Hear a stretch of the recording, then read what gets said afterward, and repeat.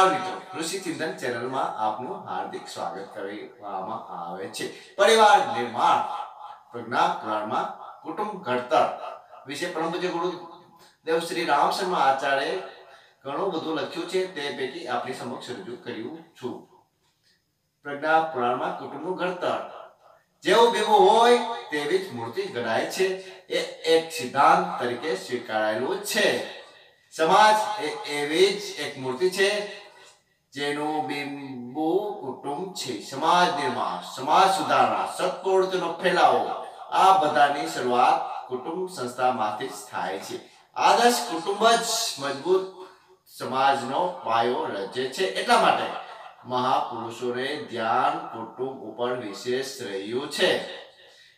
પ્રજ્ઞાપુરા એ પૂજ્ય ગુરુદેવ દ્વારા રચાયેલું એક એવું શાસ્ત્ર છે કે જેમાં જીવનની એ તમામ મહત્વપૂર્ણ બાબતો ઉપર પ્રકાશ પાડવામાં આવ્યો છે કે જેની ઉપેક્ષાને કારણે આજે ઘર ઘરનું વાતાવરણ, કલેશ, કંકાસને લીધે નરક જેવું બની ગયું છે. દેશનું ભવિષ્ય અંધકારમય દેખાય છે અને ભારતીય સંસ્કૃતિ છેક સાતમા પાતાળે પહોંચી ગઈ છે. એમાં સૌથી મહત્વની એક બાબત છે પરિવાર નિર્માણ યોજના. જેઓ માણસની, સમાજની અને દેશની અગત્યની જવાબદારીઓ સંભાળવા ઈચ્છે છે, તેઓ તેની માટે જરૂરી અનુભવ કોઈ કુટુંબનું આદર્શ રીતે સંચાલન કરીને મેળવી શકે છે. પરિવાર નિર્માણ ઉપર એટલો વિશેષ ભાર મૂકવામાં આવ્યો છે કે પ્રજ્ઞા પુરાણના ત્રીજા ખંડનું નામ પરિવાર ખંડ રાખવામાં આવ્યું છે. પ્રજ્ઞા પુરાણના ત્રણ એક ઓગણચાલીસમાં શ્લોકમાં લખ્યું છે કે, કુટુંબ એ દરેક માણસની પહેલી પાઠશાળા છે. બધા જ સંતો ફિલોસોફી, વૈજ્ઞાનિકો સમાજ સુધારકો અને મહાપુરુષો કોઈને કોઈ કુટુંબના આંગણાની શોભા વધારતા હોય છે. અને જે તે કુટુંબના વાતાવરણને અનુરૂપ પોતાના વ્યક્તિત્વનું ઘડતર કરતા હોય છે. પ્રાચીન કાળમાં કુટુંબો નાના અને સંસ્કારિક હતા. ત્યારે સાધકોની તંગી હતી. પરંતુ આજે જુદી સમસ્યાઓ નડે છે. એ સમસ્યાઓને નજરમાં રાખીને પૂજ્ય ગુરુદેવ પ્રજ્ઞાપુરામાં એના સમાધાન આપ્યા છે. સંયુક્ત કુટુંબમાં પતિ પત્ની, બાળક, વૃદ્ધ, માતા મા, બાપ, ભાઈ, બહેન દરેકનું એક મહત્વનું સ્થાન હોય છે. પહેલાના જમાનામાં સંયુક્ત કુટુંબનો જ રિવાજ હતો અને તેઓ હળીમળીને સાથે રહેતા હતા. કારણ કે એ બધા વચ્ચે પરસ્પર પ્રેમ હતો. એ બધા અન્યને માટે ત્યાગ કરવા ત્યાં રહેતા હતા. પરંતુ આજના જમાનામાં સંયુક્ત કુટુંબની પ્રથા નામ શેષ થતી જાય છે. અને કુટુંબ પતિ પત્ની અને તેમના બાળકો પૂરતું સીમિત થઈ ગયું છે. પુરાણના પરિવાર ખંડમાં વધારે સ્પષ્ટ વ્યાખ્યા બાંધતા લખ્યું છે કે કુટુંબ ભાવના હોય તો કોઈ પણ સમૂહને કુટુંબ કહેવાય છે. આજે કુટુંબ વિભક્ત થઈ ગયા અને તેને એકમ કુટુંબ કહેવાય. તેવા નાના કુટુંબોમાં પણ પતિ, પત્ની અને બાળકો સુખ શાંતિથી રહેતા હોય તેવું જણાતું નથી. પ્રજ્ઞા પુરાણના લેખકનું ધ્યાન તેના મૂળ કારણો ઉપર ગયું છે. તેથી દાંપત્ય જીવનને સુખી બનાવવાના નિયમો ઉપર તેમને ખાસ પ્રકાશ પાડ્યો છે. આદર્શ દાંપત્ય જીવનના કેટલાક ઉદાહરણો જેવા કે રેવતી અને બલરામ. તેમજ દ્રૌપદી અને સત્યભામાના સંવાદના માધ્યમથી એ નિયમો સમજાવ્યા છે. નાની નાની કથાઓ અને દ્રષ્ટાંતના માધ્યમથી સંયુક્ત કુટુંબ પ્રથાના ફાયદાઓ સમજાવવાનો પ્રયત્ન કર્યો છે. નાના કુટુંબોમાં પણ આજે સુખ શાંતિનું વાતાવરણ જોવા મળતું નથી. પરંતુ જો કદાચ સમૃદ્ધ કુટુંબની હોય કે વધારે લાયકાત ધરાવતી હોય અથવા પક્ષમી સભ્યતાના રંગે રંગાયેલી હોય, તો પણ દાંપત્ય જીવનમાં સમરસતા કે અનુકૂલન જાળવવું મુશ્કેલ થઈ જાય છે. આવા સંજોગોમાં પતિના મા બાપની ઉપેક્ષા થાય છે. એ તો ખરું જ ઉપરાંત પતિમાં પણ લઘુતા ગ્રંથાય જાય છે અને ઘર ઘર ન રહેતા ધર્મશાળા બની જાય છે.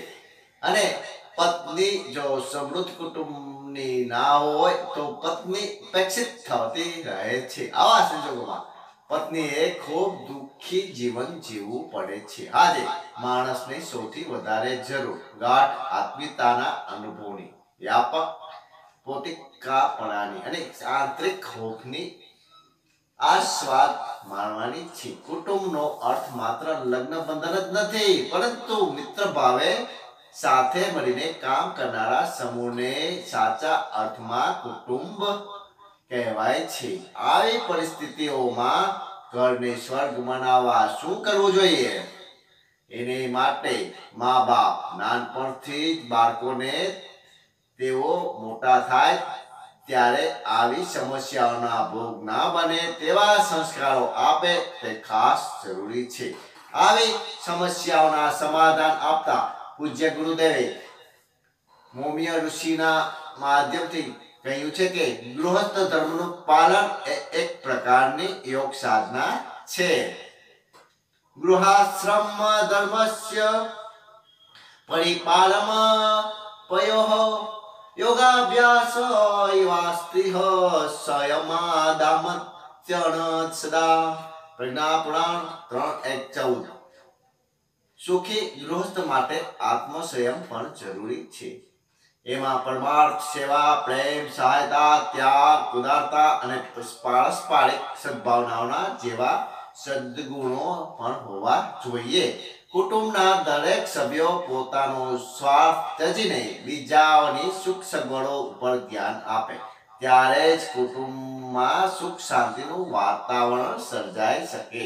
એને વધુ સ્પષ્ટ કરતા માટે ગુરુદેવે લખ્યું છે કે ગૃહસ્થ જીવન એ એમાં સ્વયં સેવા અને સંયુષતાની સાધના કરવી પડે છે, એવું એક તપોવન છે. કુટુંબ વ્યવસ્થાના નિર્માણ અને યોગ્ય સંચાલનમાં સ્ત્રીની ભૂમિકા સૌથી વધારે મહત્વની છે. એટલા માટે ગુરુદેવે સ્ત્રી કેળવણી અને સ્ત્રી જાગૃતિને ઘણું મહત્વ આપ્યું છે. ગામડાઓમાં તો આજે પણ નારી જાગૃતિ નહિવત છે. બાળ લગ્ન પડદા પ્રથા, દહેજ પ્રથા, નાતૃ કે બીજવાર જેવી અનેક કુરિવાજો જૂની ઘડે અનુસાર ચાલ્યા જ આવે છે. જેને કારણે દેશનો વિકાસ ખોરંબે ચડ્યો છે.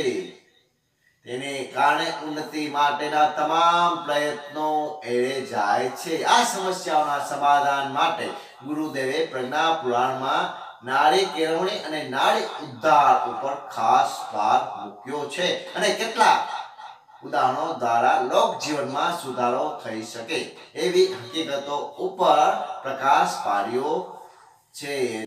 દહેજનો દૈત્ય કેટલાય કુટુંબને ભડકી ગયો છે. નારીની હાલતને પાયામાંથી સુધાર્યા વગર આપઘાત. બાળી મૂકવી કે શારીરિક કે માનસિક પંગુત્તા જેવી વિકૃતિઓ કદી એ દૂર થઈ શકવાની નથી. દેવાયાના વસ્તુ જાતાના ચાકચકસ્ય વા પુનઃ આભૂષણાધિકાના ચ સમદર્શય પ્રદર્શનમ. પ્રજ્ઞાપુરાણ ત્રણ બે છત્રીસ. જેને કારણે આજનું કૌટુંબિક જીવન નળક જેવું બની ગયું છે. એવી વિકૃતિઓના કારણે કેટલાય ઉદાહરણો આપ્યા છે, જે લગ્નોમાં દહેજ દરદગીના આડંબર ટોળાશાહી અને ધામધૂમ સંકળાયેલા હોય તેને અસુર લગ્ન કહેવાય છે. આવા લગ્નને કારણે દાંપત્ય જીવન નરક જેવું બની જાય છે. ત્રણ પરિસ્થિતિઓ નામની દાંપત્ય જીવન વિશેની એક નાની કથા ત્રીજા ખંડમાં બીજા અધ્યાયમાં આપવામાં આવી છે. તેને વાંચીને માર્ગદર્શન મેળવી શકાય છે. સુખી દાંપત્ય જીવન માટે પતિ પત્નીએ બે શરીર વચ્ચે એક પ્રાણ બનીને રહેવું જોઈએ. એકબીજાને સન્માન અને સહકાર આપવા જોઈએ. તેમજ એકબીજાની ભૂલોને દર ગુજર કરીને બદલાની ભાવના ન રાખવી જોઈએ. પતિ પત્ની ચ પ્રાણિસ્તુ ગચ્છતા મેકતા સદા શરણ્યમ ત્રદમ સયાતા સ્નેહ સન્માનમ એવચ પ્રજ્ઞા પુરાણ બે એકતાલીસ પતિ પત્નીએ પરસ્પર સહાનુભૂતિ ભરેલો વ્યવહાર રાખવો જોઈએ પતિ અને પત્ની હળી મળીને રહે તો જ ઘર સ્વર્ગ જેવું બની જાય આજના વિષમ સંજોગોને ધ્યાનમાં રાખીને તેના ઉકેલ માટે પૂજ્ય ગુરુદેવ પંડિત શ્રી રામ શર્મા આચાર્યએ આત્મસંયમ પરસ્પર સદભાવના સાદાય અપનાવવી, ધન સમજી વિચારીને વાપરવું, વ્યસનોથી દૂર રહેવું, દરેક કળાઓ શીખવવા ઉપર ખાસ ભાર આપ્યો છે.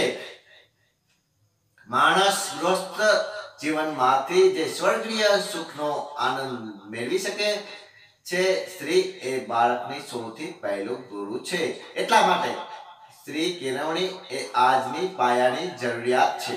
બાળકના ગર્ભમાંથી જે માતાના ગુણો ગ્રહણ કરતો હોય છે, ગુરુદેવ માતા જો હોય. અજ્ઞાની કેવી રીતે યોગ્ય થાય સંતાન? કહીને સ્ત્રીને શિક્ષણ આપવાની પ્રેરણા આપી છે. આજના જમાનામાં શિક્ષણ ક્ષેત્રે પણ બે વિરોધાભાસી સ્થિતિઓ પ્રવર્તે છે. પહેલો તો, જ્યાં આજે પણ સ્ત્રીઓમાં અંધવિશ્વાસ, અજ્ઞાન અને પછાતપણું પ્રવર્તે છે. તેવા પછાત પ્રદેશોમાં સ્ત્રીઓને યોગ્ય શિક્ષણ આપવાની જરૂર છે. સ્ત્રીનું બીજું રૂપ જેને આજની ભાષામાં હાઈ સોસાયટી કહેવાય છે. તેવા સભ્યો અને સંસ્કૃત પરિવારમાં જોવા મળે છે. એવા કુટુંબોની છોકરીઓ તથા એના મા બાપ છોકરીનો પોલીસ અધિકારી, મેજિસ્ટ્રેટ, એન્જિનિયર કે ડોક્ટર બનાવવા સપના જોતા હોય છે. પરિણામે એ છોકરીઓએ લગ્ન પછીના રસોઈ કે તેના જેવા ગૃહ જીવનમાં અન્ય કામકાજ કરવામાં ખૂબ તકલીફ પડે છે. આ બંને પરિસ્થિતિઓ દુઃખદ છે. છોકરીઓને ભણતરની સાથે સાથે મહેમાનો અને વડીલોનું સન્માન કરવાનું તેમની સરભરા કરવાનું તથા આસ્તિકતાનું શિક્ષણ પણ આપવું જોઈએ. આસ્તિકતા ઈશ્વર પર ભરોસો રાખવાથી અને પ્રભુ ભક્તિ કરવાથી માણસને દુષ્પ્રવૃત્તિઓ છોડવાની પ્રેરણા મળે છે. એટલા માટે દરેક ઘરમાં પૂજા સ્થાને બનાવીને સદબુદ્ધિ આપનારી ગાયત્રી માતાની પૂજા થવી જોઈએ. ઉપરાંત ધર્મમાં શ્રદ્ધા ધરાવનાર દરેક માણસે પોતપોતાની શક્તિ, શ્રદ્ધા અને સમયની અનુકૂળતા પ્રમાણે જપ, તપ, નમન, વંદન, પૂજા, પાઠ કરતા રહેવું જોઈએ. જેનાથી તેનામાં માનવીય દિવ્ય ગુણો ઉતરી આવશે અને બીજું નું ભલું કરી શકશે અને તે બીજાનું ભલું કરી શકશે. બાળકોનું ઘડતર દાંપત્ય જીવનમાં પડતી મોટા ભાગની મુખ્ય કારણ, બાળકોના ઘડતર પાછળ પૂરતું ધ્યાન આપવામાં નથી આવતું. હોય છે આજે સભ્ય કહેવાતા કુટુંબોમાં પણ બાળકો ખૂબ ઉપેક્ષિત હોય છે. મા બાપ તેમના સંસ્કારિક બનાવવા માટે જોઈતો સમય ફાળવી શકતા નથી. આવા કુટુંબમાં માતાને, મમ્મી અને પિતાને ડેડી કહેવાય છે. એનો સીધે સાધો વાચ્યાર્થી જ લઈએ તો મમ્મી એટલે પિરામિડમાં લખાયેલું શબ્દ થાય. ડેડી એટલે તો ડેડ જ છે. તો પછી બાળકોનું માર્ગદર્શન કરવા માટે બાકી કોણ રહ્યું? એટલા માટે બાળકોને પૂરતો પ્રેમ કે માર્ગદર્શન મળી શકતા નથી. તેને કારણે તેઓ કુસંગે ચડીને બગડી જાય છે, વહી જાય છે. આવા બાળકો મોટા થઈને કુટુંબનું વાતાવરણ કલુષિત કરે છે અને આગળ જતા સમાજને પણ પતન તરફ ખસરી જાય છે. મા બાપ કુટુંબ જ્ઞાતિ સમાજ બધા પર આની માઠી અસર પડે છે. મા બાપ અને વડીલો જો બાળકોના ઘડતર ઉપર ધ્યાન આપશે અને તેમને સંસ્કારિત બનાવશે તો દાંપત્ય જીવનમાં આવનારી તમામ સમસ્યાઓ અંત આવી જશે. અને બાળકો સંસ્કારિત નીવડશે. બાળકોના ઘડતર વિશે પૂજ્ય ગુરુદેવ લખે છે કે, જાગૃત વડીલ બાળકોના શારીરિક, માનસિક, બૌદ્ધિક અને સર્વાંગિક વિકાસ ઉપર પૂરતું ધ્યાન આપે છે. અને તેમના બાળકો મોટા થઈને દેશના સારા નાગરિક છે. તેમજ પોતાના દેશ અને જાતિનું નામ રોશન કરે છે. ઇતિહાસના પન્ના પર તેમના નામ સોનેરી અક્ષરે અંકાય છે. વૃદ્ધોનું મહત્વ. આજના જમાનામાં ઘટપટ સાપરૂપ બની ગયું છે. એનું કારણ આપણે આપણી પ્રાચીન સંસ્કૃતિના નિયમો સાવ ભૂલી ગયા છીએ.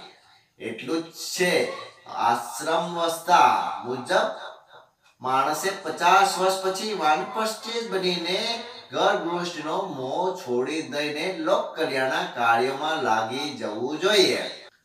આ ઉંમર જે વડીલો ઘરમાં બેઠા રહીને પોતાના દીકરા વહુ ઉપર હુકમો કરી રાખે તો તેના બે જ પરિણામ હોઈ શકે. કાં તો ઘરમાં કંકાસ કજિયા થયા રાખે અને કાં તો બાળકો બળવાખોર બની જાય. પ્રજ્ઞા પુરાણના શ્લોક ત્રણ, પાંચ, સિત્તોતેર, ઓગણસી જુઓ.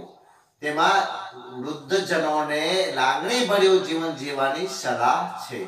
દીકરા, દીકરીઓને જો બાળપણથી જ સારા સંસ્કાર આપવામાં આવ્યા હોય, તો સમસ્યાઓ ઓછી નડે છે. પરંતુ પુતા પુત્રની ઉંમર વીસથી પચીસ વર્ષનો તફાત હોવાને કારણે દીકરા, દીકરીઓ આધુનિક વિચારસરણીના રંગે રંગાયેલા હોય ત્યારે જો વડીલો રૂઢિવાદી વલણ અપનાવી રાખે, તો તેમની વચ્ચે ખાસું અંતર પડી જાય છે. આ બાબતે ગુરુદેવ લખે છે કે ઘરમાં વડીલોની અમાન્ય મર્યાદા જાળવવી જોઈએ. તેમના અનુભવોમાંથી પાઠ શીખવો જોઈએ. સાથે સાથે નવી પેઢીઓના યુવા વર્ગ અંધવિશ્વાસ અને રૂઢિવાદી જડ પરંપરાનો વિરોધ પણ કરવો જોઈએ. હકીકતમાં તો આ આશ્રમ વ્યવસ્થા ભારતીય ઋષિઓની દૂરદર્શીની ખૂબ જ મહત્વના દાખલો છે. આણાયકાના મધ્ય ચ વાનપ્રસ્ય સુસાધનમ.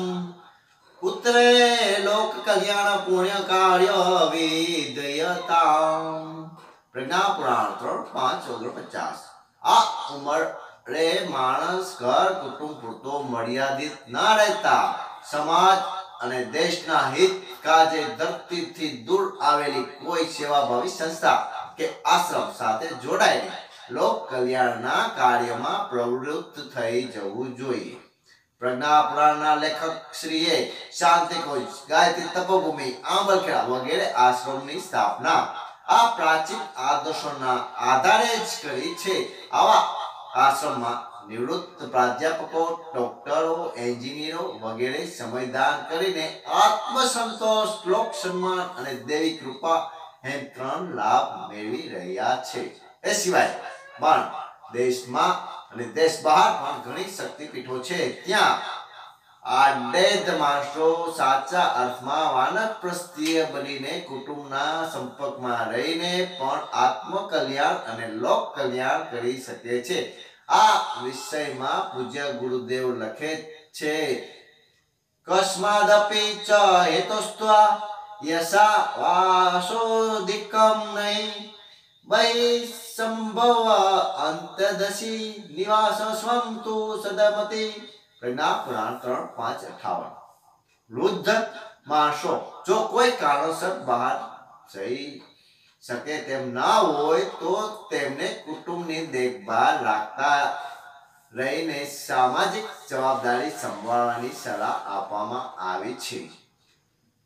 આ બાબત કહી શકાય છે કે વૃદ્ધાસ્થા એ જીવનમાં સાંજના વિસામાં જેવો સમય છે કે જ્યાં માણસ પોતાની તમામ કુટુંબિક જવાબદારીઓથી પરવડી જઈને લોક કલ્યાણની દિશામાં મુક્ત રીતે આગળ વધીને આત્મકલ્યાણ સાધી શકે છે. આજે ઘણી સેવાભાવી સંસ્થાઓ આ જ કાર્યક્ષેત્રમાં પ્રવૃત્ત છે. એ બહુ આનંદની વાત છે. આ દેશની જાગૃતિ દર્શાવી એક સારી નિશાની છે. પૂજ્ય શ્રી રામ શર્મા આચાર્યએ કુટુંબનો વ્યાપક અર્થ કરીને મહાન પ્રજ્ઞાની ઉપાસના નો ગાયત્રી મહામંત્ર આપીને સમગ્ર વિશ્વને એક તાંત્રે પરોવાનો પ્રયત્ન કર્યો છે. એ કહું અહીં અસ્થાને નહીં ગણાય. છેવટે એટલું જ કહેવાનું કે યુગ નિર્માણના વ્રતધારી આચાર્ય શ્રીએ આદર્શ કુટુંબના નિર્માણ માટે કુટુંબ વ્યવસ્થા, ગૃહસ્થ જીવન શ્રીદાક્ષિણીય બાળકોનું ઘડતર, વડીલોનું મહત્વ વગેરે પ્રકરણોમાં આધુનિક સમસ્યાઓનો કાયમી સમાધાનો આપીને સૌને લોક જાગૃતિનો સંદેશ આપવા માટે શંખનાદ કર્યો છે. પ્રજ્ઞા યુગમાં સમાજનું નેવ નિર્માણ કૌટુંબિકતાના આધારે જ થશે. એવો તેમની અટલ વિશ્વાસ છે. એમ થશે તો સમાજમાં વિરાટ બ્રહ્મની ઝાંખી દેખાશે ત્યારે બધા જ પોતાને વિશ્વ કુટુંબના માનવા લાગશે. જય ગુરુદેવ. પછી શ્રી રામ સમાચાર્યજીના જે પ્રજ્ઞાપુરાણ ના એક થી ચાર ભાગ આપણે સમક્ષ મૂક્યા છે, તે ઘરે વસાવી અને જે અઢાર પુરાણનો સાર છે, તેનો નિચોડ છે તેમને નિચોડ એ પ્રજ્ઞા એટલે કે બુદ્ધિ ની સતેજ કેમ રાખવી અને દાખલા દલીલ સમાજની જે નીતિ રીતિ રિવાજો જે રૂઢિચુસ્તતા છે, તેને જળમૂળથી નિવારણ કેવી રીતે કરી શકાય તેનું ઔષધિ આ પુસ્તકમાંથી મળી શકશે. જય ગુરુદેવ, આભાર.